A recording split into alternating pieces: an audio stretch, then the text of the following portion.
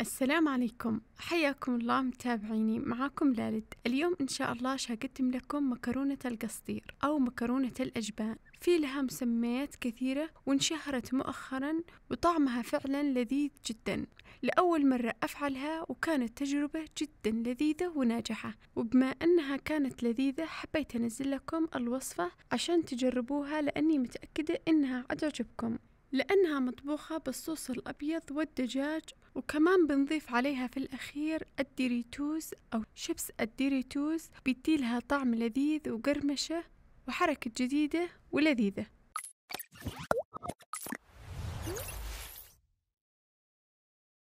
وبسم الله ونبدأ بخطوات الوصفة.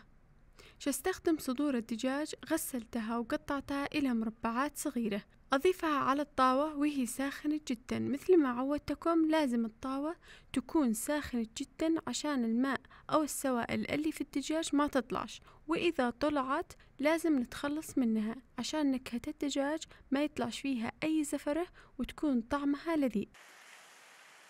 نقلب الدجاج لما يبدأ يتحمر وينشف تماما وبعدين نبدأ نضيف له البهارات. عادة لما أقلب الدجاج وشفته بدأ يتحمر أو بدأ ينشف ويبدأ يحرق أبدأ أضيف بالملعقة الماء. حاجة بسيطة من الماء عشان أرطب الدجاج وحاول إنه ما ينشفش أو يكون ناشف زيادة. نضيف ملعقة زبدة للدجاج ونبدأ نقلبها.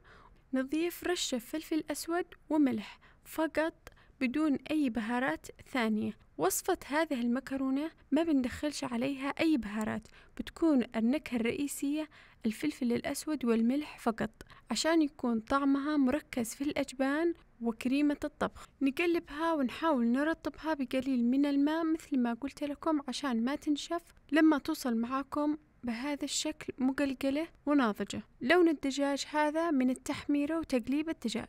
نشيلهن على جنب بنفس الطاوة من دون ما نغسلها نضيف ملعقة زبدة وقليل زيت. وبعدين نضيف حبة بصل مفروم ناعم. وعلى نار هادئة نقلب البصل لما يذبل. انتبهوا البصل يتحمر ولا يحرق عليكم؟ أتخرب نكهة المكرونة. انتبهوا وقلبوه على نار هادئة. بعد ما يذبل البصل نضيف فصين ثوم.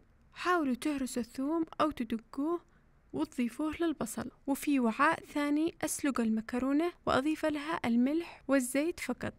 استخدمت المكرونة الإيطالية التي بتكون مخبوزة بالطحين والبيض. آه عندما تسلقوها انتبهوا تسلقوها وتتركوها فترة طويلة. تقريبا بتنسلق معاكم من سبع إلى عشر دقائق فقط وبتكون جاهزة.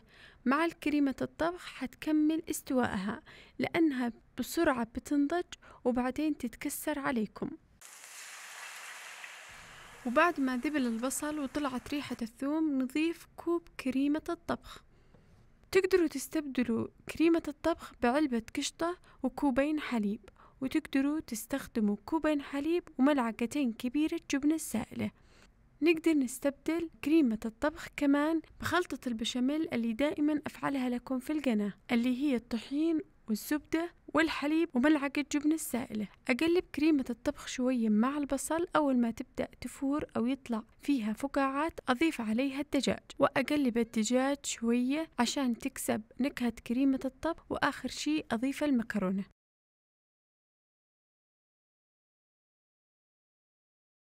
نضيف المكرونة ونقلبها. لاحظوا كيف المكرونة استواءها بيكون ستين في المئة تقريبا عشان ما تتقطعش عليكم ويخرب شكلها. هذه المكرونة معروفة إنها تنضج بسرعة وكمان يشتي لها طبخ بهدوء. إن شاء الله أنزل لكم طريقة صنع المكرونة المنزلية. خاور قوي أنزلها لكم وأجربها معاكم.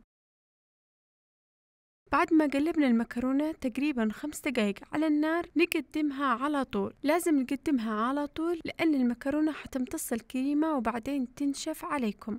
في حال تأخر تقديم الأكل تقدروا أنكم تضيفوا المكرونة قبل التقديم مباشرة. يعني تتركوا الدجاج وكريمة الطبخ لوحده والمكرونة بعد السلق لوحدها. وقبل التقديم تضيفوا المكرونة على كريمة الطبخ وتقلبوها على النار خمس دقائق وتقدموها على طول. لأن ميزة المكرونة هذا الصوص الأبيض. فإذا خسرتوا الصوص الأبيض حتكون ناشفة.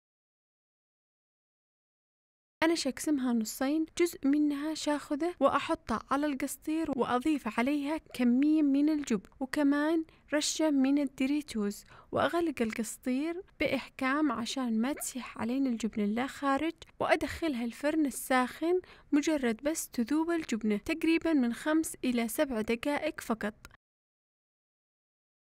ونقدمها على طول قبل ما تبرد الجبنة عشان نحصل على على هذا المطة الجميلة واللذيذة. تلذذوا بالله عليكم. شوفوا كيف شكل المكرونة. تستحق التجربة ولا ماشي؟ لذيذة جدا ولا تقاوم. فعلا تستحق التجربة. حتى لو كانت متعبة شوي وفيها بعسسة خفيفة. بس والله لذيذة جدا. أقولها وبصراحة أول تجربة لي لهذه المكرونة وإن شاء الله ما حتكونش آخر تجربة لأنها فعلا سهلة في التحضير ولذيذة وشيء لا يقاوم جدا في قمة اللذاذة. إن شاء الله تطبقوها وتنال إعجابكم وتعتمدوها في وصفات المكرونة حقكم. وخاطركم وإن شاء الله ألقاكم في الفيديوهات الجاية. شاركوا أصدقائكم الوصفة ولا تنسوا الاشتراك في القناة والضغط على جرس التنبيه عشان يوصلكم كل وصفاتي.